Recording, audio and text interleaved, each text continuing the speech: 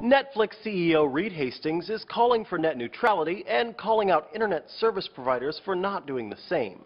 In a blog post on Netflix's website, Hastings criticizes big ISPs for abusing their market position to levy extra fees, slow down content delivery, and chop quality, in some cases simply because they can.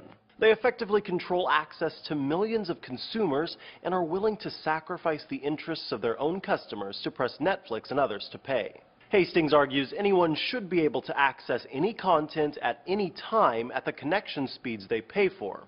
In other words, if you want to binge watch House of Cards in HD, nothing should stop you. The Post follows a landmark deal between Netflix and Comcast in which Netflix pays Comcast for peering, that's connecting its servers to Comcast to ensure faster and higher quality video for end viewers. Netflix obviously isn't thrilled with paying up, but in the response it sent to Ars Technica and other sites covering this development, Comcast seems to suggest that's just good business.